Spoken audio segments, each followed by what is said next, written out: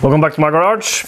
Last time we found out that pulses in the exhaust has been the problem all along. Why my engine wouldn't run, even start. By some like weird stroke of... Uh, I've never had this happen before.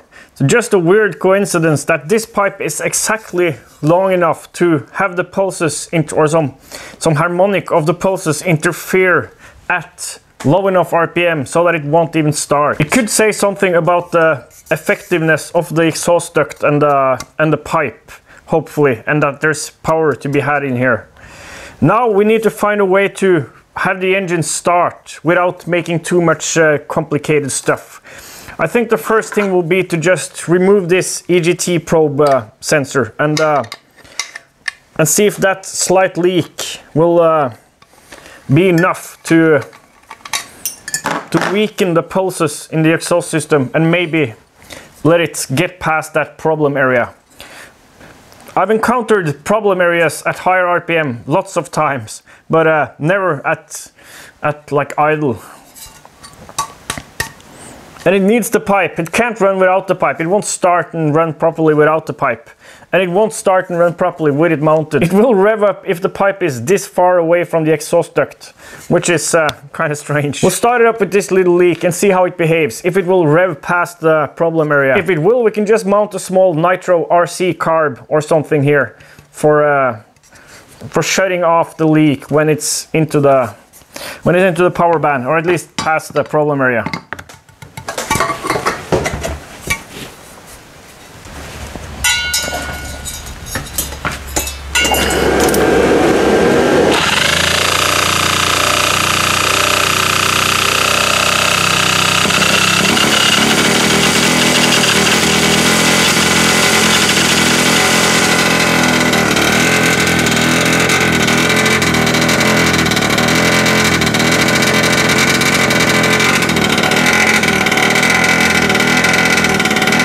that's not enough. Let's remove the stinger insert and see if it behaves any better.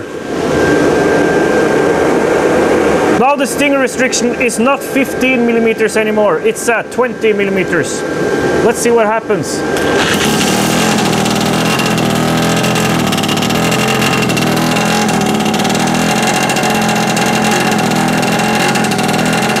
Well, that's not enough either.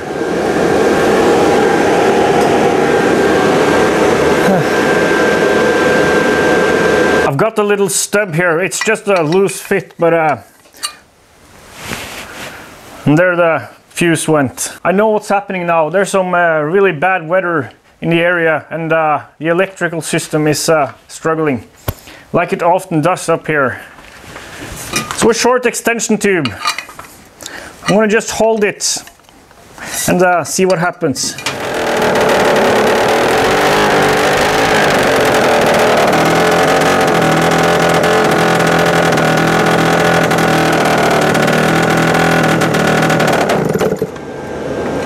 Nothing.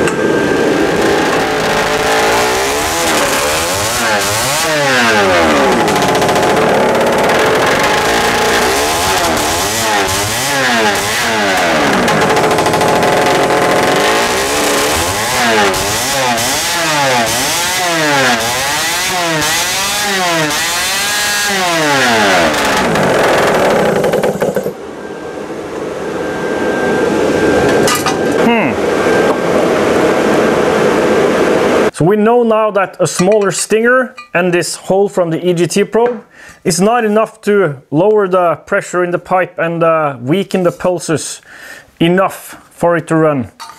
and neither is making it slightly longer with this extension pipe. So that's not enough. We know that it will run fine with a, a long pipe like this.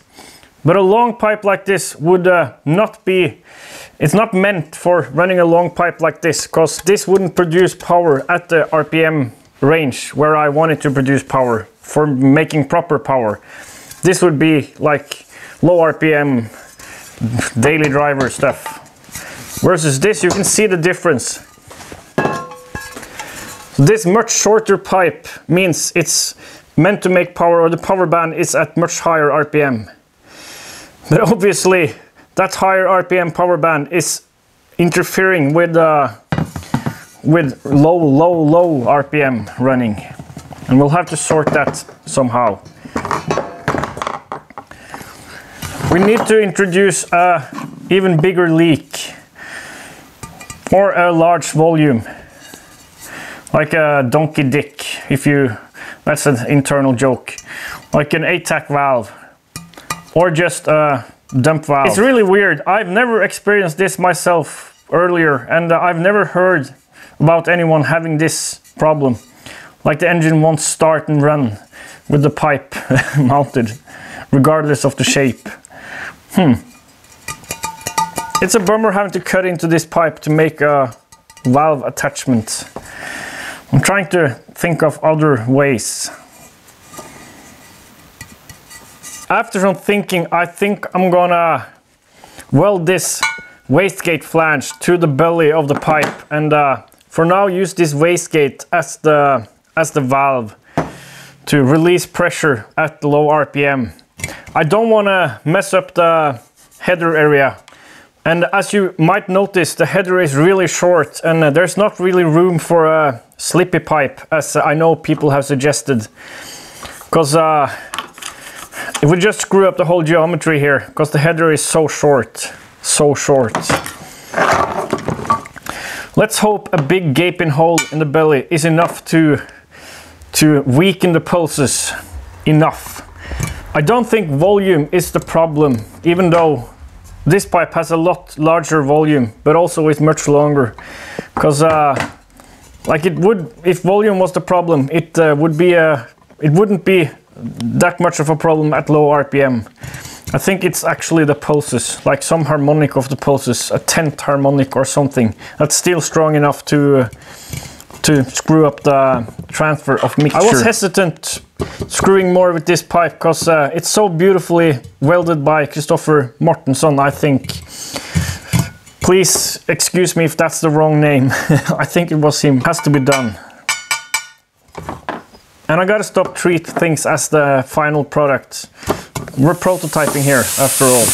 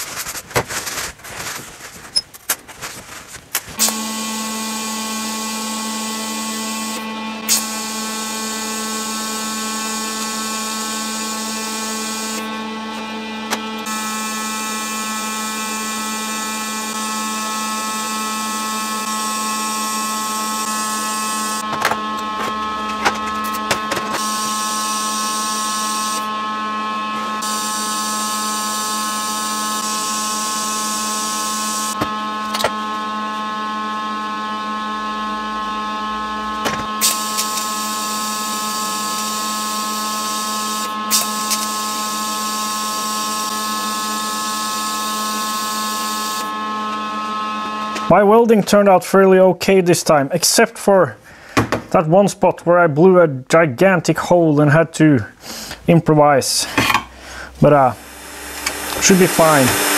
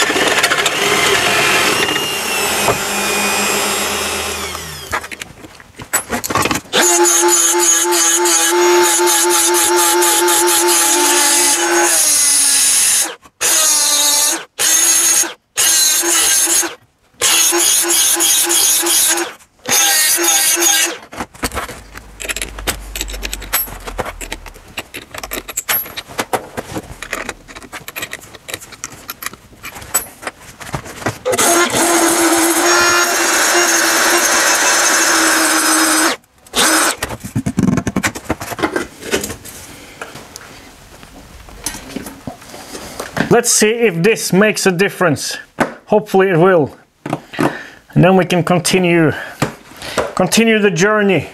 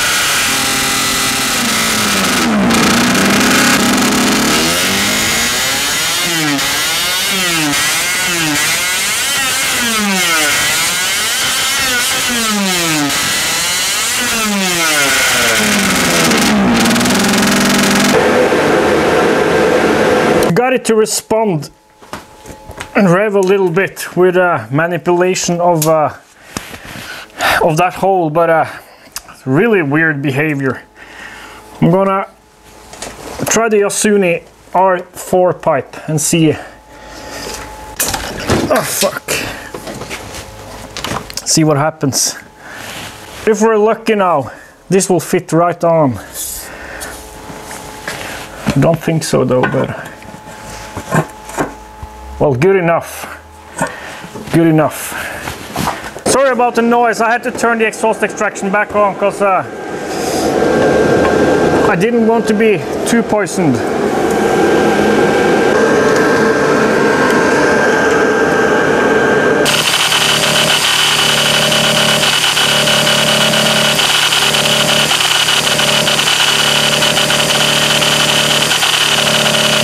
How pipe sensitive do you want your engine to be?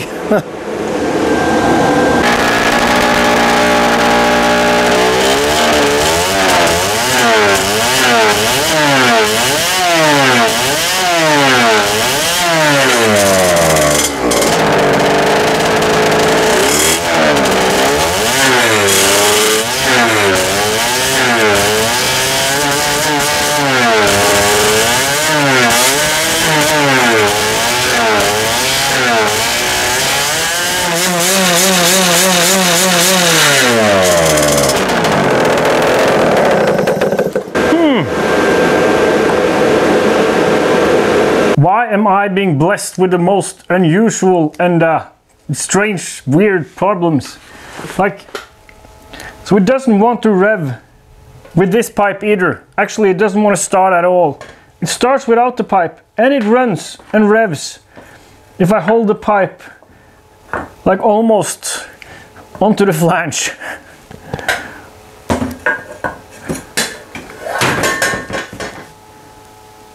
And also how it ran with the wastegate hole where I could partially cover it up. It would run, not with it open and not with it closed, but partially covered. sometimes. and then sometimes it would rev with it, with it completely open. Extremely pipe sensitive. Why? Why?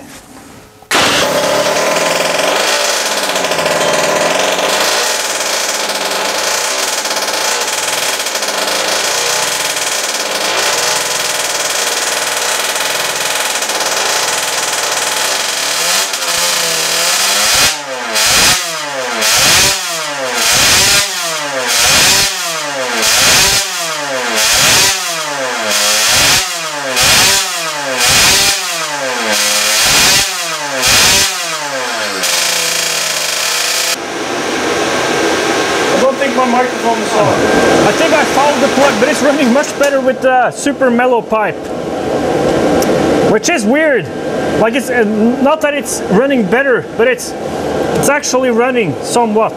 I think I followed the plug, but uh, I've never experienced this kind of behavior where it won't run at all with some pipes and it will run with others. It is really weird. We're still in the weird problem territory. We've stumbled upon some weird, contradictory, maybe, behavior here. So recap. It does not want to start and run with this pipe, with this hole capped off. It will start and run, it seems, with this pipe just like three millimeters away from the flange with a three millimeter gap between the between the spigot and this thing. Maybe this is called the spigot. Anyways it will start with this big hole there it won't run. It will run with uh sometimes when i cover the hole partly. This is a short really short pipe. It won't start or run at all with this pipe this big fat pipe which is much longer than this one. It will both start and run with this pipe, which is much skinnier than this one and more mellow, and much shorter than this one, but actually pretty much the same length as this one. There must be a resonance issue of sorts here. It's just weird because you'd think that with this short pipe the pulses would travel more times up and down at low RPM in each cycle and be weaker, make less of a difference versus in this pipe where they have a longer distance to travel and will travel fewer times up and down. Well, actually, maybe it's just that they're traveling, say, seven times up and down at 2000 RPM. And uh, with this longer pipe, they return at the right moment. And with this shorter pipe, they return at the wrong moment at really low RPM. That stuff is going on. It's just normally the pulses are weak enough to not make much of a difference at like idle and low RPM. Huh. It's weird how this big hole didn't fix the problem because uh, now there shouldn't be much pressure in the pipe at all. Like imagine having a 35 millimeter stinger, that surely destroys the destroys the pulses. Should destroy the pulses or at least weaken them a lot. I'm just trying to come up with a game plan here. Where to go next. I first thought, and maybe that is the problem, that it's uh, with the big exhaust port and the high exhaust timing, it's uh, it's the exhaust is functioning as a transfer and there's fresh air fresh air being drawn in through the exhaust diluting the mixture making it far too lean to run. That could be an issue but, uh, even this short pipe should eliminate that. And uh, it's weird that it's running with a leak and not not without the leak. There's just no reason to continue with this pipe because uh, it is far too long for, for making any power from 50cc. So there's no point in making it work with this, even though it will start and run with this. We really need to make it work with something with these dimensions. And it should work with these dimensions. Uh, the proportions are what they should be and uh, the length is tuned for higher RPM power like it should be.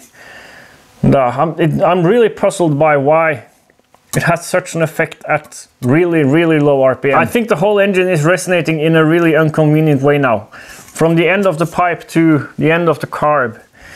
Might be a good idea to try the smaller carb just to to change the Helmholtz frequency of the crankcase and uh, and see what happens with this pipe with a hole there. So weaker pulses in the pipe and uh, and a higher Helmholtz frequency in the um, in the case.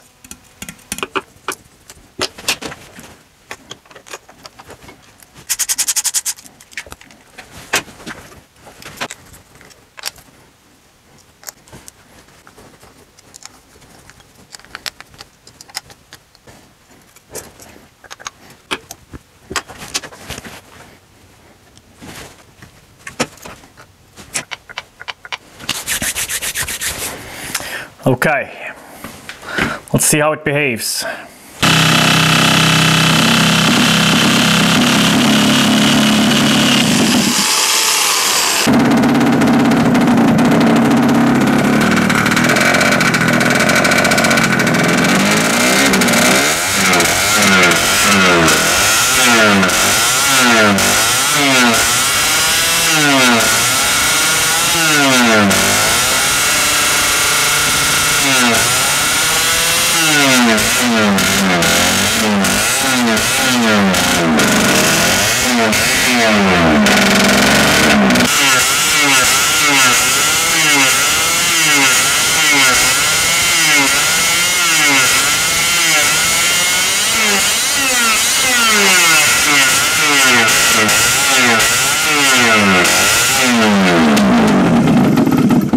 Progress. I think changing the frequency by making the the intake hole of the of the crankcase smaller got us out of the destructive resonance area down low. Still won't start with that hole in the pipe completely covered, but it will start with it slightly cracked open and then it will run with it completely covered. We'll have to mount some kind of a tiny valve to that hole. Well, actually, let's try a blanking plate and give it some more goes with it completely covered and see if we can get it past the initial startup phase and into the power band. And then we can just blank off that hole again. Let's try that.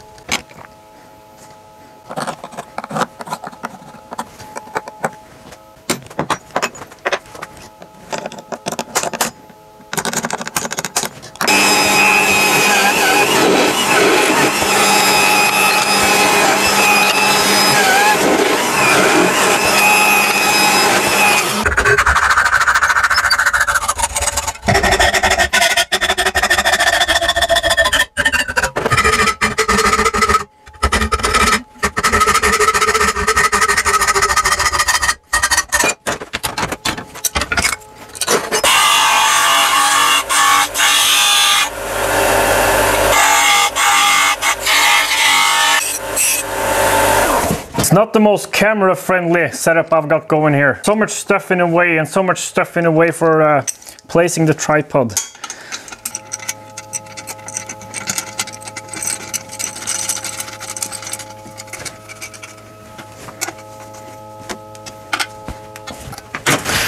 Let's see how it behaves.